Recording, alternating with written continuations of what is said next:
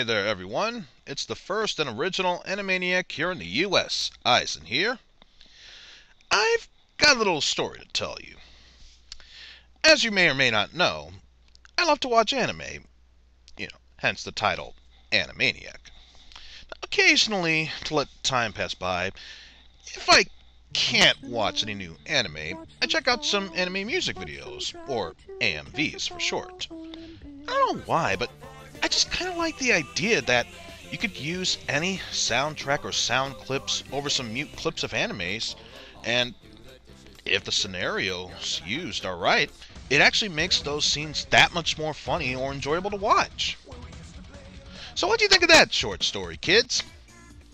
Well, guess what? This is where the real story begins.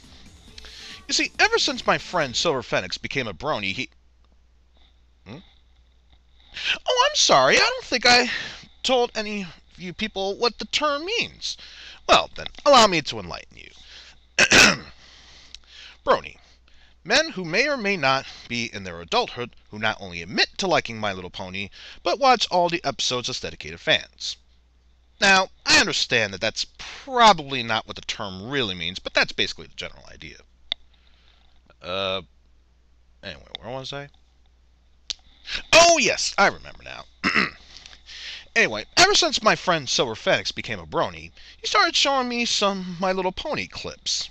Now, at first, despite me being neutral about all this, I actually refused to watch any of them. That wasn't until he started showing me some pony music videos, or PMVs for short. Again, if the scenarios for the clips used fit the soundtrack or sound clips in those scenes, they actually were quite funny and enjoyable. Probably the funniest clips I've seen thus far has to be the Ponies Anthology series. Now, I've only seen two of them, though from what I've been seeing on YouTube recently, they just came out with a third one, so when the time comes, I'll be able to check that one out. Anyway, some time passed by, and it turns out another one of my friends, Bohemians III, came by and showed me not necessarily a PMV, but rather a song that talks about one of the characters from Season 2, Discord. Now, since we were both fans of the Square Enix game, the city Dissidia Duodecim, I'll admit the title Discord got me a bit intrigued, so I gave it a listen. And actually, not only did it fit the theme of the character's name, but it was actually quite a catchy tune as well. Now, it was around this time that things started to get a little bit awkward. Now it was YouTube that started showing me featured videos that not only had just PMVs as suggestions, but actual episodes from the series. Now, at first, I was able to avoid the thought of seeing any of these videos until it started suggesting it in my Netflix account. I mean, it was almost as if both Netflix and YouTube were asking me, Tell us, bro, Eizen, are you a brony? Well, are you? And that's why I'm here before you now. Now, given I have given it some thought, and I do have an answer for that question, but before I do, I first want you to know exactly what episodes of the series I'll be focusing on. You know, since it'll give you a good explanation as to why and how I came to my decision. Anyway, I will be reviewing a total of five different episodes. From season one, I'll focus on the two parter Friendship is Magic and Party of One.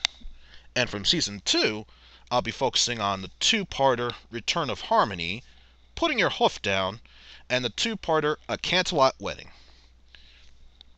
Now, first off, let's concentrate on the two episodes I saw with my friends on Netflix. You know, that being Putting Your Hoof Down and Party of One. Which, by the way, yes, that was the order in which I saw it in.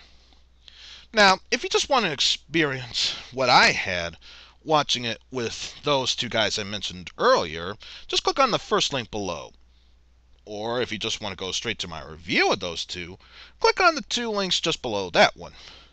Now, if you have seen my review of those two episodes and my reaction to watching those two episodes, or both of them for that matter, then click the links below those for in order here, my review of Friendship is Magic, Return of Harmony, and A Canterlot Wedding. And after I felt that enough time has passed and everyone who watched all those parts got a feel for those episodes, I'll upload publicly my answer to the burning question that everyone just wants me to answer Am I or am I not a brony? Well, until then, I'll see you later, folks.